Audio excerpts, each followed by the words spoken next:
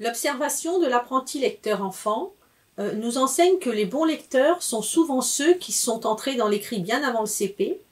Euh, ils l'ont souvent fait euh, au sein de leur famille. C'est-à-dire qu'ils ont compris ce qu'est lire, à quoi ça sert, pourquoi on lit. Ils ont compris à la fois les finalités de la lecture et le fonctionnement de l'écrit. Et c'est toute la réflexion hein, que Gérard Chevaux et d'autres ont menée sur le projet de lecteur que j'ai développé lors d'une autre intervention que vous pouvez euh, retrouver euh, dans la lettre maternelle. Aujourd'hui, euh, nous allons nous intéresser à l'aspect du fonctionnement de l'écrit. Alors, qu'est-ce que l'enfant doit avoir compris de ce fonctionnement de l'écrit pour réussir à entrer au cours préparatoire dans la lecture? Il faut qu'il ait déjà compris comment ça marche. Tout d'abord, qu'il ait compris que la chaîne orale et écrit correspondent, puis qu'il ait compris que l'on passe de la chaîne orale et écrite en utilisant un principe alphabétique. En parallèle, il faut aussi qu'il ait développé sa conscience phonologique et appris également le nom, le son et la forme des lettres y compris la double articulation entre le langage, hein, c'est-à-dire signifiant signifié, c'est-à-dire une forme qu'une forme écrite renvoie à un référent. Et une fois que l'enfant a compris tout cela, il lui reste alors à découvrir le décodage et l'encodage. Et on peut dire qu'il a passé cette étape essentielle qui consiste à comprendre quelque chose d'aussi complexe que le fonctionnement de l'écrit. Alors je n'aborderai pas aujourd'hui euh, le développement de la conscience phonologique, ni la connaissance des lettres, ni l'articulation signifiant signifié, et ni l'aspect des codages. Mais je vais tâcher plutôt de partager avec vous quelques repères et pistes pédagogiques pour conduire, accompagner progressivement chaque enfant d'école maternelle à découvrir le principe alphabétique à travers des projets d'écriture. Et pour cela, je vais m'appuyer sur les travaux de Michel Fayol, de Mireille Brigaudio et de Roland Guagou, à qui je céderai la parole à différents moments euh, de mon intervention. Et pour commencer, je vous propose d'écouter Michel Fayol, professeur des universités, nous définir ce qu'est le principe alphabétique et quelles sont les activités à privilégier pour permettre aux enfants de le découvrir. Alors, ma première question sur cette affaire du lire-écrire euh, sera la suivante. Qu'est-ce qui caractérise le système d'écriture du français et qui va conditionner son apprentissage? Merci. Euh, alors, le système d'écriture du français, c'est un système alphabétique.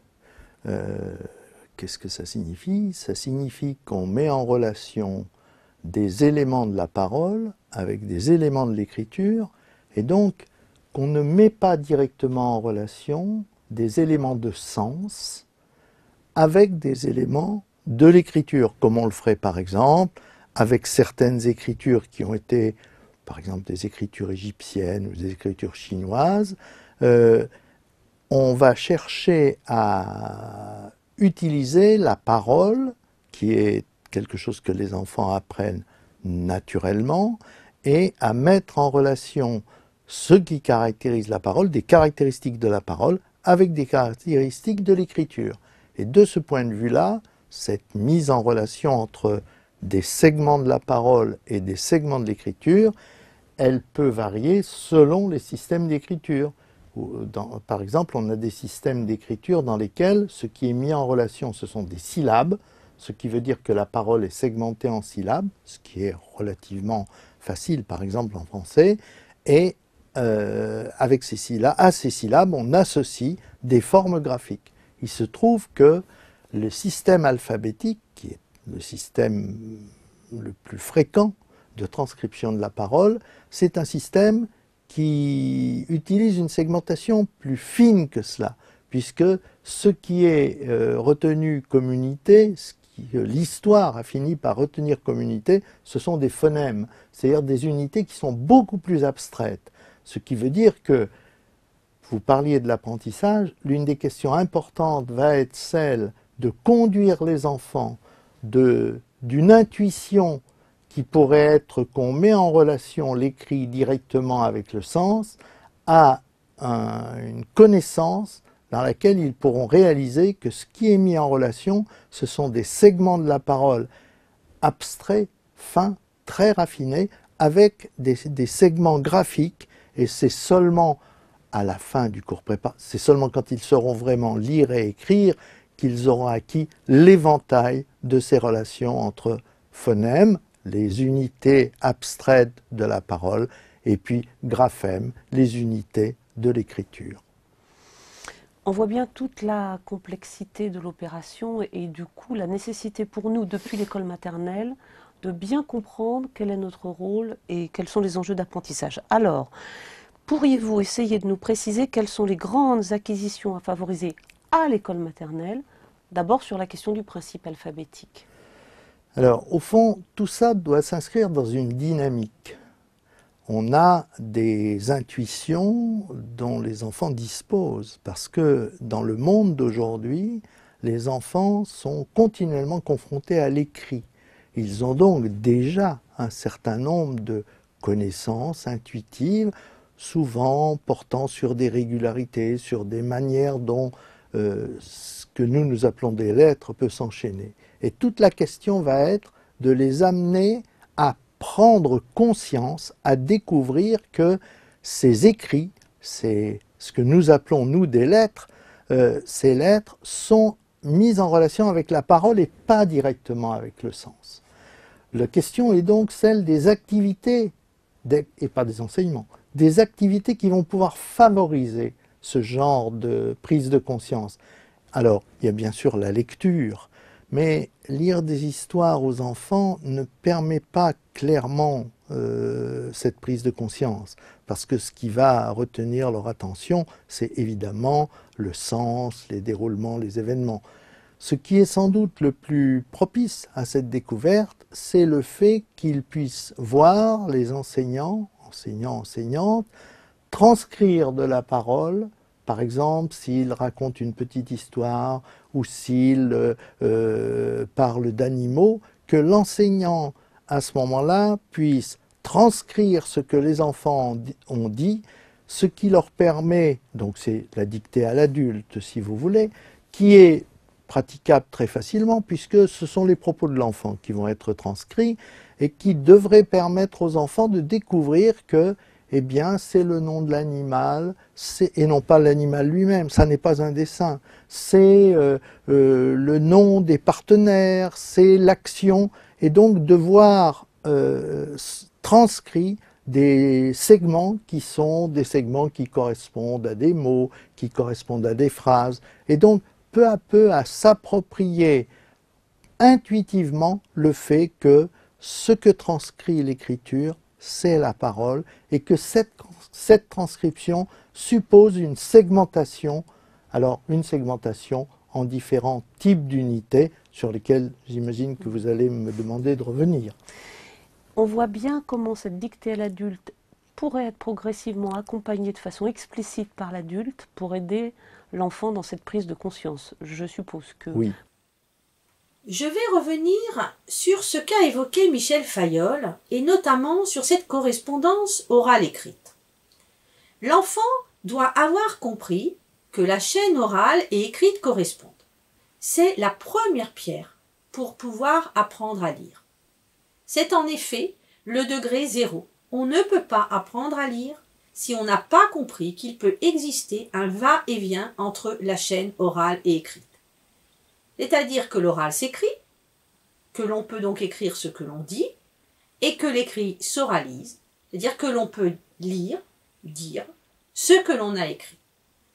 Qu'on utilise la même chose, le même code pour décoder, c'est-à-dire convertir des graphèmes en phonèmes, et encoder, transcrire des phonèmes en graphèmes.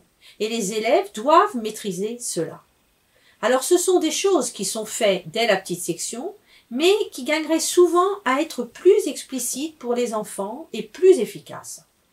Alors les premiers supports pour cela, euh, ce sont euh, les prénoms, euh, mais montrez que vous lisez le prénom sur l'étiquette. L'enfant doit comprendre que l'écrit de son prénom se lit et que son prénom s'écrit. Cela doit être explicite pour l'enfant. C'est euh, ce que vous faites aussi lorsque vous écrivez la date. Mais il y a plusieurs façons de le faire. Pensez à dire aux enfants, aujourd'hui, nous sommes lundi, je dis lundi et j'écris lundi. Si vous dites ce que vous écrivez, ce que vous dites, vous allez accentuer davantage sur cette correspondance. Je vous invite à référencer en équipe ce qui peut correspondre à cette étape que vous faites dans vos classes. Du coup, euh, votre étayage sera plus efficace. Alors, comme le dit Michel Fayol, l'exercice caractéristique en fait de cette étape, eh bien, c'est la dictée à l'adulte. C'est la tâche dédiée à cela à partir du moment où vous pensez à rendre explicite cette correspondance orale écrite.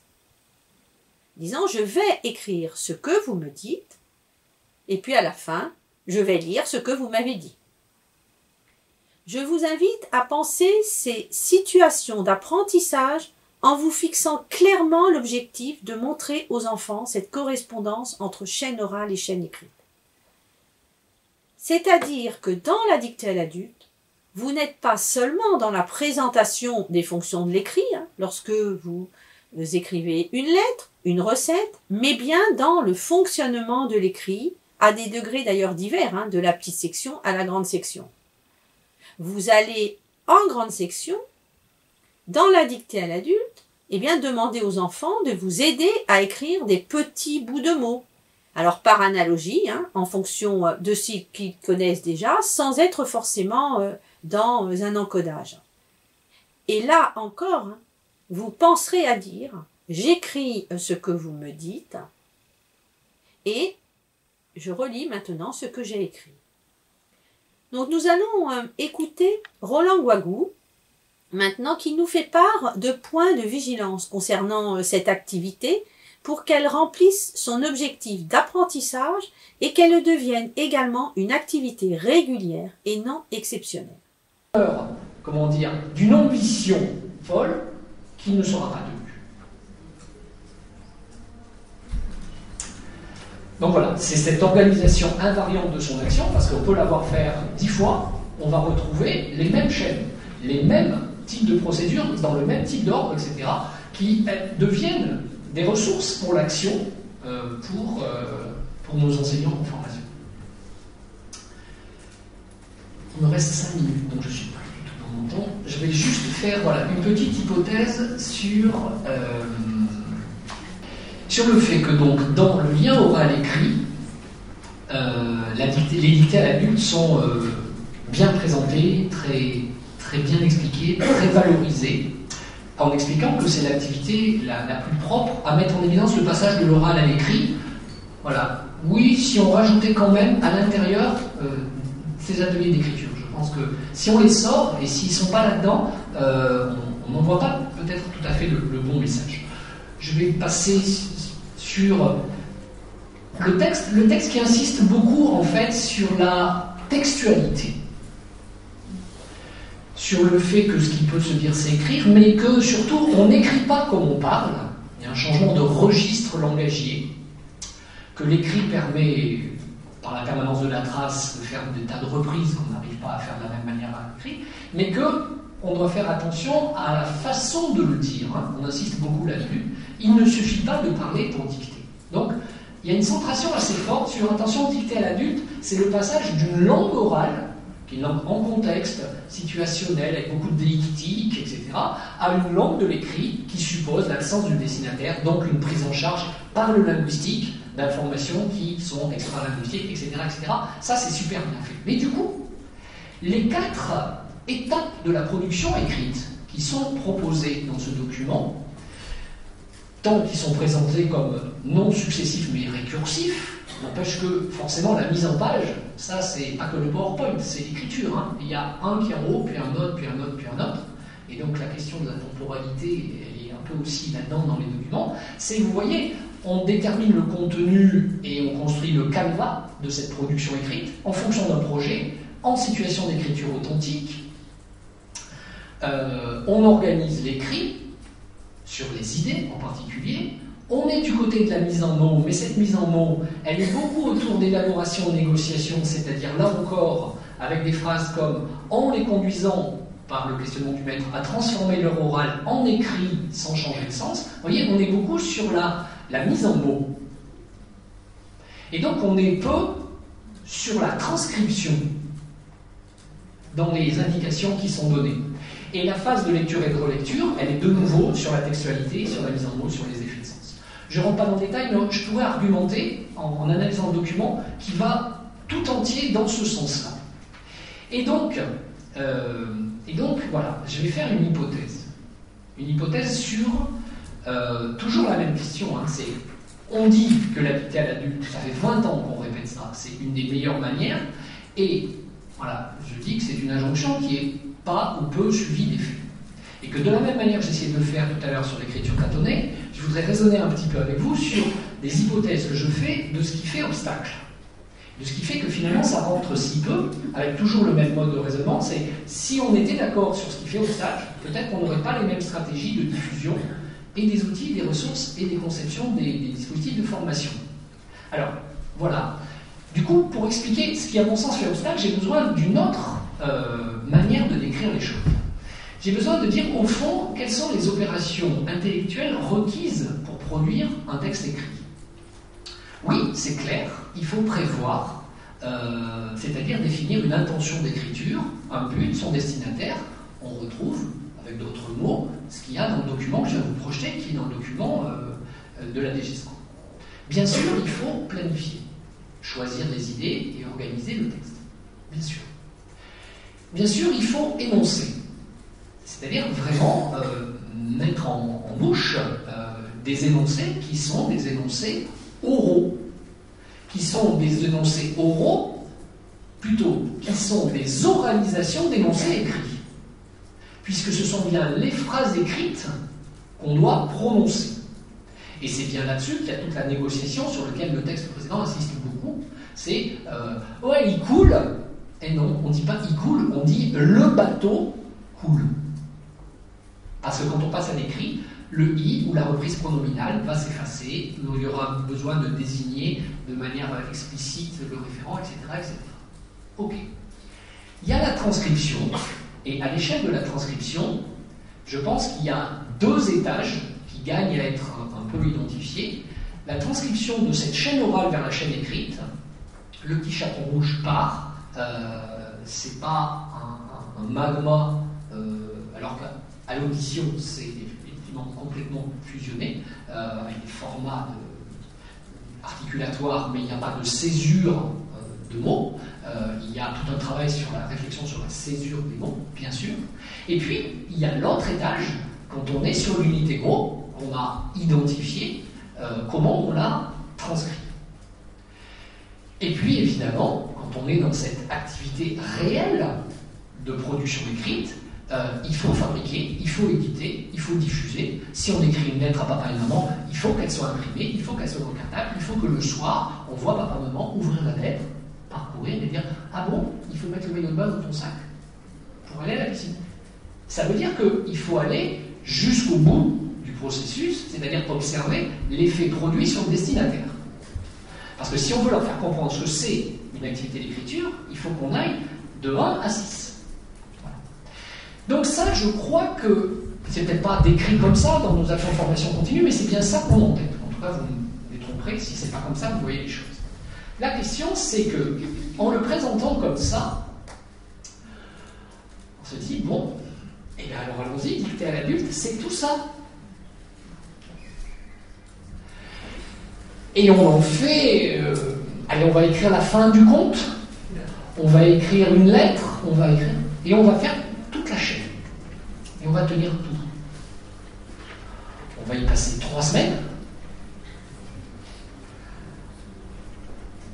à la fin, on aura oublié l'intention de départ, euh, parce que bien sûr, il fallait que le texte de l'allure, hein, la fin du compte quand même, et puis qu'on soit fier de le montrer dans le cahier qui allait partir, ou dans le petit journal, ou dans, le petit.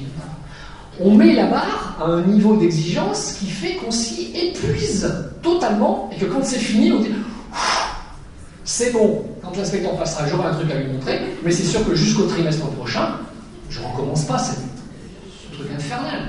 Bon, je, blague, je, caricature, on est d'accord. Et vous voyez, euh, lorsqu'on en fait quelque chose où on n'aurait pas le droit d'éviter ça par appartement, on n'aurait pas le droit de se dire, allez, aujourd'hui, ce qui est important, c'est de bien comprendre que ce petit mot qu'on va mettre à la Z pour lui dire où on a caché son cadeau, je crois que c'est un exemple de Mireille, euh, on l'a mis dans l'armoire. Qu'est-ce qu'on lui écrit? On lui écrit ton cadeau est dans l'armoire. Et j'écris ton cadeau est dans l'armoire. Les parties 4, totalement masquées, la maîtresse écrit. Mais il y a eu l'échange sur l'intention, l'échange sur l'énoncé. Il faisait une phrase, il est écrit, il est plié. On va cacher le cadeau, on donne le petit mot à la, à qui rentre, qui prend le papier, qui est au courant de rien, qui l'ouvre, qui qui regarde les enfants, qui leur sourit. Oh non, fallait pas. On n'a rien dit. Et qui va chercher le cadeau de son anniversaire Vous voyez, on a mis en scène ce qu'on voulait faire comprendre, c'est quand on a une intention de communication à quelqu'un qui n'est pas là, on peut. Hein, et on a travaillé sur 1 et 2 et sur, 4 euh, et 5, sur 5 et 6. Et puis le reste, on l'a chanté. Parce qu'à ce moment-là, c'était pas ça qui était important, parce qu'il fallait que ça dure 20 minutes dans la production écrite et qu'on voit la réalisation dans une temporalité qui donnait sens à cette activité. Et puis à d'autres moments, je vais distordre le bâton, on est toujours dans la même dynamique, ce qui veut dire qu'il faut bien qu'on garde cette dynamique du projet. Mais est-ce qu'on est obligé tout le temps de tenir toute la chaîne avec le même soin? C'est ça. Hein et donc à d'autres moments, où on va au contraire complètement brader en étant très directif euh, sur l'énoncé, et on va mettre toute l'attention, par exemple, sur la transcription. Allez, on est d'accord. Là, d'ailleurs, les, programmes le disent, hein, les, documents d'accompagnement le disent, tiens, apprenez à dicter à votre maître les paroles de la comptine ou de la chanson que tout le monde sait par cœur. Vous êtes d'accord? Le projet, c'est juste voir la transcription. On négocie rien sur la prévision, la planification, l'énoncé. Tout ça, c'est donné, puisqu'il y a des textes super Le boulot, c'est la maîtresse a le stylo et on va guider sa main. Tu écris. Euh, J'en ai pas une qui vient tout de suite. Euh, une boule sur un mur. Tu écris une boule sur un mur. Oh, une boule sur un mur. Vous avez tout dit. non, doucement. Il faut me l'écrire il faut me le dicter pour que je puisse l'écrire moralement. Une poule. C'est une poule. Une poule, oula. Si c'est ça le boulot, alors il vaut mieux que ça soit sur un énoncé que tout le monde sait par cœur, et sur lequel, pour lequel la centration de l'attention des enfants sera tout entière consacrée à l'activité de transcription. À d'autres moments, ça, ça sera réglé ou ça sera articulé avec le fait qu'on encode. Alors, poule, poule. Allez, on y va, poule. On sait des choses dans poule? Vous voyez, on le dissocie d'écriture, d'atelier d'écriture tâtonnée. C'est quand même dire à la maîtresse ce qu'elle doit écrire. Est-ce que c'est pas une autre facette qui va converger avec les ateliers qu'on vient de décrire? Allez, on essaye. Alors on essaye, on est en collectif, on est en petit groupe, on est en collectif, il y a des, activités comme ça qui fonctionnent assez bien en collectif. On n'est pas obligé de tout faire en atelier dirigé. Et hop, ça redonne du jeu. Ah oui, ça peut être ça, la dictée à l'adulte Oui, ça peut être ça, la dictée à l'adulte. Est-ce qu'on réautorise cette subdivision, cette dynamique-là, en disant l'important c'est l'équilibre sur le trimestre, sur l'année, que les enfants soient bien confrontés à cette chaîne d'opérations, même si elles ne peuvent pas être toutes travaillées avec la même qualité à chaque, à chaque moment. Vous voyez, toujours la même logique, hein, vous connaissez nos, visions pédagogiques, nous on est pour des pédagogies zen, euh, on travaille sur le familier épuré, épuré. Épuré, c'est pouvoir centrer l'attention des élèves sur les compétences qui sont les compétences clés de ce qu'on est en train ici de, de privilégier. Les enfants ont compris la correspondance orale écrite. On va devoir donc maintenant leur faire comprendre que l'on passe de la chaîne orale à la chaîne écrite en utilisant un principe alphabétique, hein, dont des lettres, et que tout cela est très normé, que l'on met en relation des unités graphiques et des unités euh, phonologiques, voire phonémiques. Les activités d'encodage, les essais d'écriture, les productions de phrases, eh bien, vont nous y aider pour pointer cet objectif précis. Aujourd'hui, par exemple, je vais montrer aux enfants que la date, ce sont des lettres qui produisent tel son. Ce euh, principe alphabétique, c'est difficile parfois à admettre pour les enfants, et pas forcément d'ailleurs en raison euh, des lettres de l'alphabet, mais en raison de la maturité intellectuelle et de l'acceptation euh, de l'enfant à la norme. C'est-à-dire qu'il faut accepter que le passage entre la chaîne orale et la chaîne écrite n'est pas magique, euh, n'est pas égocentré, c'est-à-dire je ne fais pas comme je veux, hein. je vais donc devoir admettre la norme et l'apprendre. C'est-à-dire je vais devoir m'engager dans cet apprentissage qui va nécessiter persévérance. Et au niveau cognitif, hein, ce que l'on demande aux enfants, eh bien, c'est un retour réflexif sur la langue, c'est-à-dire c'est une attitude métalinguistique. Et pour illustrer euh, cette étape, eh bien, je vous propose de regarder deux activités menées en grande section euh, concernant euh, la découverte du principe alphabétique et activités qui sont commentées par Mireille Brigodieu. de la feuille, je vois quelque chose qui, qui pend là. Vous le voyez tous? Voici une grande section au complet. qui, qui pend là. La maîtresse tient son cahier d'appel avec un enfant différent chaque matin pendant l'accueil. Et là, regarde, dans cette colonne-là, je mets un petit point pour dire qu'il est présent. Tous les jours, je remplis ce cahier. Bonjour Timothée. Tu vas bien? Bonjour. Bonjour. Bonjour. Bonjour Noah. Tu vas bien? Alors, on regarde. On fait, on reprend depuis le début. Ah, on dirait que c'est Noah, tu as raison. On dirait que c'est Noah. Qu'est-ce qui te fait dire qu'on dirait que c'est Noah? Tu as raison. Ça commence par un N, oui. Alors, moi, je vais t'aider, d'accord? Je suis d'accord avec toi. On pourrait penser que c'est Noah, mais regarde, c'est N, I, N, A. C'est Nina. Le N qui fait N, le I, Ni, N, A. Nina.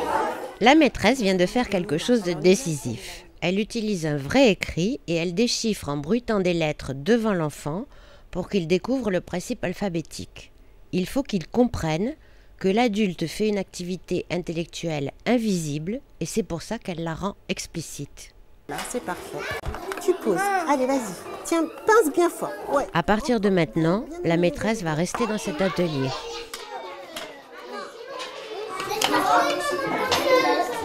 Je regarde avec- par rapport au modèle. Il est tout cassé. Ça y est, Nina? Alors là. Très très bien. En plus, je me reconnais vraiment bien. C'est comme vous quand vous faites vos dessins. Je, je vous reconnais aussi sur vos dessins quand vous faites vos portraits. Et là, je me reconnaissais bien. Alors, tu termines un petit peu, puis après, on va passer à la. Et maintenant, je voudrais que vous essayiez d'écrire mon prénom. Bah, Alors, écoute bien. Valérie. Alors, je, je vous laisse réfléchir et vous écrivez, allez-y.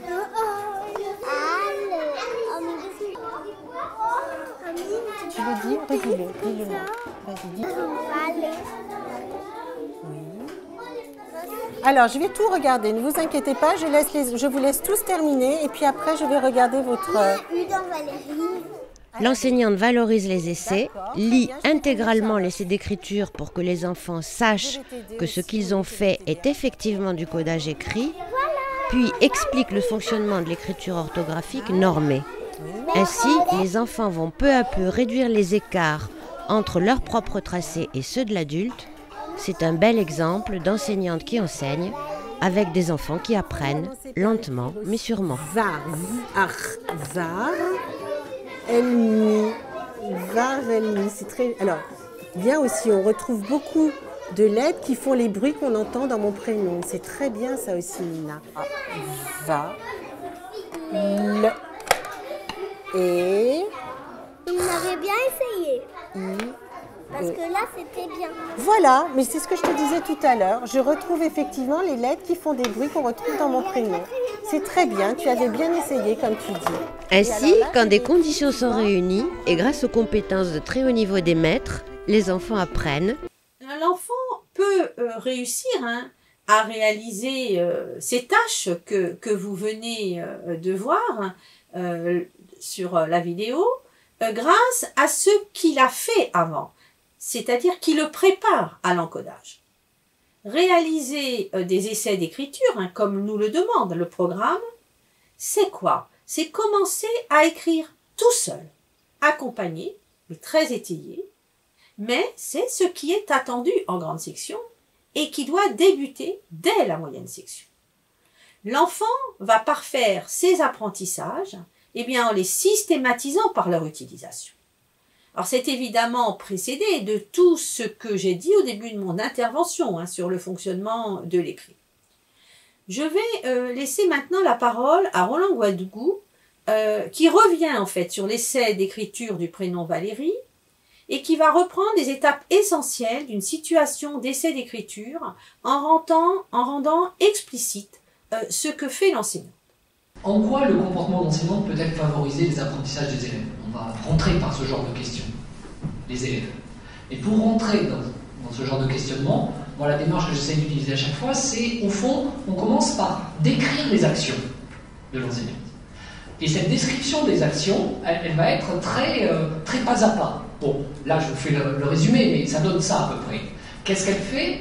En fait, il y a déjà le choix de départ, c'est que c'est elle qui a choisi le mot à écrire par tous les élèves. Vous voyez, ce mot-là, il va être proposé à l'atelier, on est plutôt dans des débuts d'année, là, euh, de, de, grandes sections, et euh, évidemment, ça a du sens, c'est le prénom de la maîtresse, on dessine la tête de la maîtresse pendant qu'elle est en train de lancer les autres ateliers euh, qui doivent être autonomes et qui demandent beaucoup de travail pour qu'ils puissent être autonomes, et elle va revenir vers eux. Et qu'est-ce qu'elle choisit? Elle choisit un mot dont la régularité, justement, est particulièrement intéressante. Euh, encore une fois, je ne suis pas sûr qu'elle aurait choisi soit forcément son prénom, euh, si elle s'était appelée autrement. Euh, donc voilà, il faut déjà identifier ça. Est-ce que c'est nos débutants, c'est le prénom de la maîtresse? Ah ouais, mais Jean-François, on va peut-être. Voilà. Non, c'est pas le prénom de la maîtresse. C'est un mot qui peut être drôle, motivant, etc. Parce que franchement, super le prénom de la maîtresse, mais qui déjà respecte. Ça, c'est dit nulle part. C'est dit nulle part. Mais voilà. Donc, on va passer de ça, on va passer de ces phases de description à euh, quelle raison elle a de choisir son prénom. Et la première hypothèse, c'est que c'est parce que c'est son prénom, oui, mais peut-être pas seulement. Il est familier et régulier. Vous avez vu quand elle le dicte? Là aussi, il faut avoir la vidéo. Hein. Non, ça c'est quand elle le relit, excusez-moi. Valérie. Deux distorsions quand elle le dicte. Elle fait vrombir, prolonger la, la consonne initiale, et elle crée des espèces de petits silences syllabiques qui sont des manières de flécher des comportements enfantins. Oui, il nous faut une théorie procédure enfantine, mais il nous faut repérer les gestes professionnels qui leur correspondent. Là, on est bien devant quelque chose qui est, elle s'autorise une petite distorsion. Elle commence à leur souffler un petit quelque chose. Elle leur laisse tous le temps d'écrire, ça oui, c'est important. Euh, et combien de fois euh, les deux ou trois premiers, vous voyez, ceux qui mettent la maîtresse sous la pression là, ouais, fini, j'ai fini, j'ai fini, et puis les autres non, ils ne sont pas protégés. Donc protéger le temps, ça c'est vital, ça fait partie des savoir-faire. Là aussi, avec nos débutants, euh, il faut réussir à bien faire identifier et bien transmettre comment ils se laissent mettre sous le contrôle partie de leurs élèves. Évidemment, elle fait un retour sur chaque écriture, c'est-à-dire que chaque gamin sera destinataire d'un feedback. Là, l'importance des feedbacks, on ne dira jamais assez. S'il n'y a pas de feedback dans ce genre de tâches, ça ne sert à rien. Donc, feedback individualisé, rendu plus pertinent et plus facile, parce que comme c'est le même mot et qu'ils sont six, elle le fait en public, ce qui veut dire que le feedback adressé à un enfant est susceptible d'être bénéfique à un degré moindre à d'autres enfants. D'accord? Donc elle joue sur ces deux tableaux. Évidemment, elle valorise Là, la bienveillance, elle est omniprésente. C'est-à-dire, elle dit tout ce qui va bien, tout ce qui est bonne tentative, les, les prises de risques, tout ce qui correspond aux sonorités. Elle met tout ça en valeur, évidemment. Elle, ça c'est très important, les débutants ne le voient pas. Elle commence systématiquement par leur renvoyer, j'aurais dû le mettre avant, une image acoustique de ce qu'ils ont écrit. Elle leur oralise leur écrit. Et si c'est écrit de travers, elle dit va, ré, mi.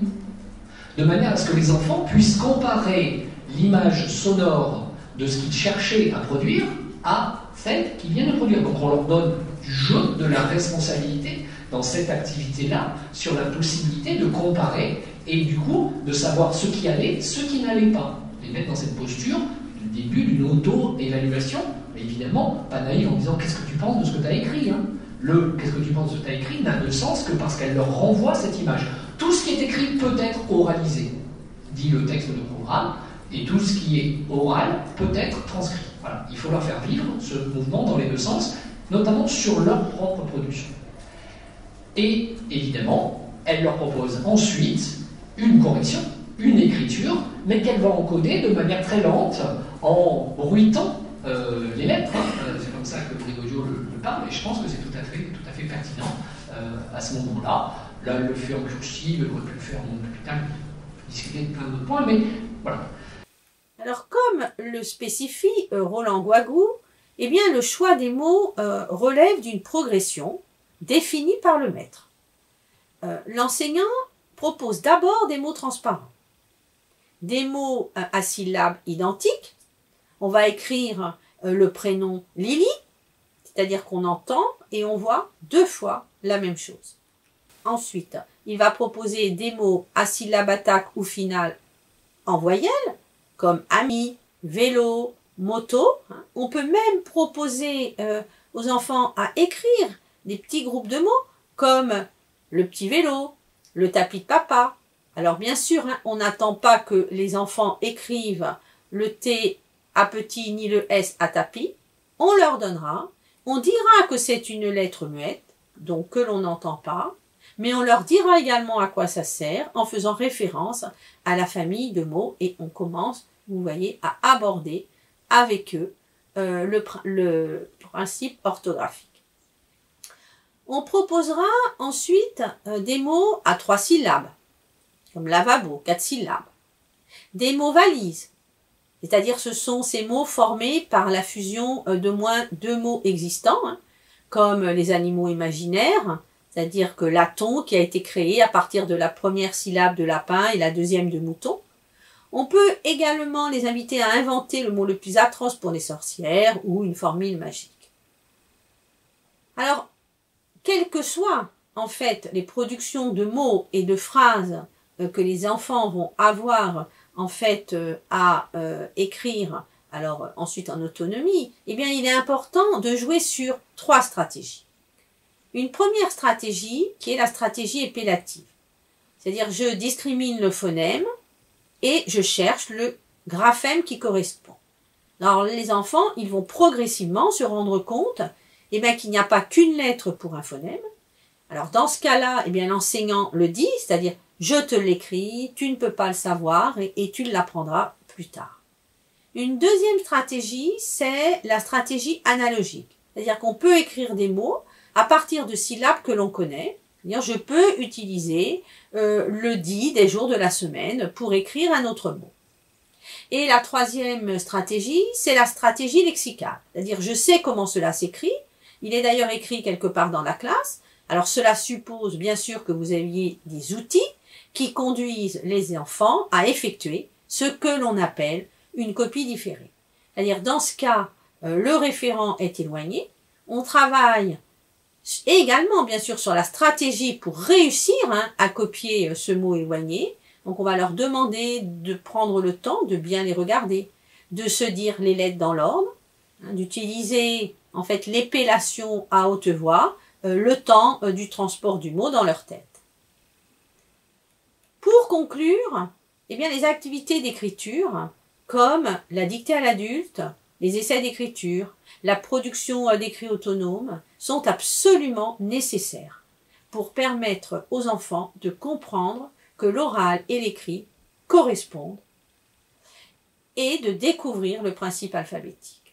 Ces activités euh, contribuent euh, à faire connaître aux enfants le fonctionnement de l'écrit et leur permettre d'avoir une représentation de l'acte de lire la plus juste possible. Et l'école maternelle joue un rôle déterminant et dès la petite section, euh, elle doit être une préoccupation. Alors vous pourrez découvrir euh, dans la lettre maternelle couplée donc à cette intervention eh bien des exemples concrets d'activités d'écriture. Je vous remercie euh, pour votre attention.